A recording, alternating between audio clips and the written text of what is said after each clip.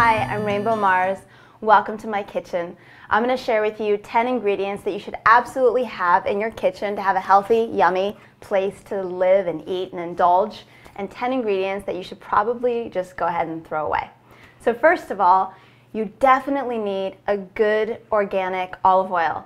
You want to have olive oil that is in a dark glass bottle and is cold pressed. Extra virgin is what most people want. Two, you want to have a good source of water. Good source of water doesn't mean the tap water because there's usually chlorine and chemicals in there. So you want to have either a filtration system or I love, you know, Mountain Valley spring water. It's straight from the earth. Number three, for salty, more Japanese, Asian style things, tamari or soy sauce. I have gluten-free soy sauce. I also love coconut oil, and this is a great thing to cook with instead of olive oil or butter. So if you were gonna do one thing in your kitchen today to get healthier, cook with coconut oil rather than olive oil. Then we're gonna have chia seeds. So right now we're on number five. This is our new favorite food. It's a staple. Kids love it. It's a great source of protein, omega-3s and 6s. So it's good for our hormones it's good for weight loss, it's hydrating, and it's a great thing to help you if you're an athlete or just to keep going. You also want to have some great fruits and vegetables because you might pick fruits at any time. So I have some raspberries here to demonstrate. Raspberries are also really good on the skin, so have fruits around. Have gluten-free snacks around. So instead of choosing wheat that, you know, when you need your snack, have things like popcorn, flax crackers, brown rice, just anything that's not gluten filled. And then also I have some non-sweet fruits and vegetables to represent things that you're going to snack on. I can put some avocado and tomato on one of these flax crackers for a great snack on the go or in a nori wrap. You got to have seaweed. You can use put a little bit of guacamole on this, wrap it up and go. And you can also use miso as a source of salt. And this makes great marinades, can make everything taste yummy, great dressings. You put that with some olive oil on some greens, wrap it in your seaweed, there you go. And then lastly, but not leastly, is a good sea salt.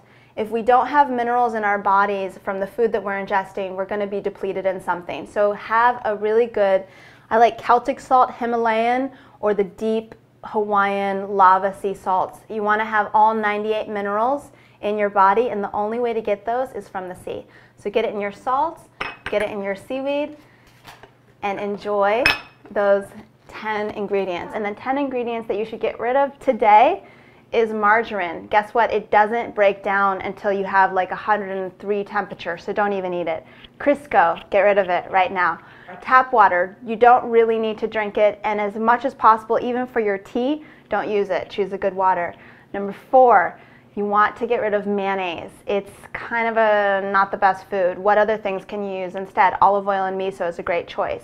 Number five, table salt. You don't really want to use table salt. It is high, bad for your cholesterol and your blood pressure. So just get rid of your table salt. Number six would be dairy in general. A lot of it has hormones, antibiotics, and steroids. So if you don't want drugs in your food, don't eat them in your dairy. Number seven would be meat that is processed and also non organic, non grass fed. It probably again has hormones, antibiotics, steroids. Usually the animals have cancers that they just cut out, so you probably don't want to eat it.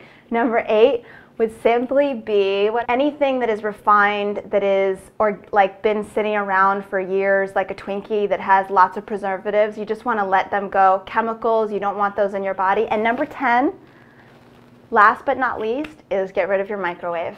Once you microwave your food it is no longer a food. A potato is no longer a potato. So get rid of your microwave and all those foods and you'll be healthy and free with me. So join me next time for some recipes to use with these healthy ingredients that we're going to add to our healthy kitchen. Thank you. I'm Rainbeau Mars.